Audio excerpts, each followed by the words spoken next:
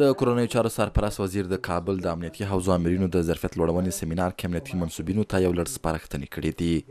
سراج الدین حقاني هغه کسان چې له عمومي عفې سرغړونه کوي د نظام تخریبوونکي بللي او د سختې جزا خبرداری یې ورکړی دی.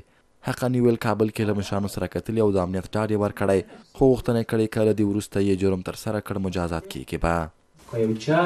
په کاږه درته وکتل داسې سوچ وکړه چې یو څوک زه لرم په نظام کې ما جرمني ته تښتې ما فرانسې ته تښتې ما امریکا ته تښتې قرار واړوي دلته خو که چېرته د عفو نه وروسته تاسو په جرایمو کې ملوث وئ بیا وروره دا ګرامه یا پتاګه د ځان اصلاح کړه بیا زه خپل مسؤل نشم په تېره به د موږ څه نه درته وایو د کورنیو چارو سرپرست وزیر د اسلامي امارت له ټولو غړو وغوښتل چې خپلو مسولیتونو ته متوجه او د خلکو ستونزې په وخت حل کړي. حقاني زیاته کړه هغه کسان باید زندان ته واستول شي چې بې ګناه خلک یې زندانونو کې اچولي دي. خلک چې زندانو کې پراته دي د دوی دوسیې تاسو وګورئ که د قانوني اصولو له مخې بې ګناه ثابت شي، دا تاسو ته حکم دی چې دغه زنداني راوباسئ، بخښه ترې وغواړئ چې چا نیولی ده زندان ته ورواچوئ.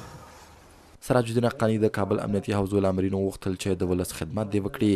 او په وینا یې دوی د ولس د خدمت لپاره ګمارل شوي دي. د کورنیو چارو وزارت سرپرست وزیر د اسلامي امارت لومړی جګپوړی چارواکی نه دی چې د عفوې د بشپړ تطبیق خبره کوي، بلکې له دې مخکې هم ګڼو مشرانو له طالب جنګیالیو غوښتي وو چې شخصي عقدې دې شاته پرېږدي او له چا دې غچ نه اخلي.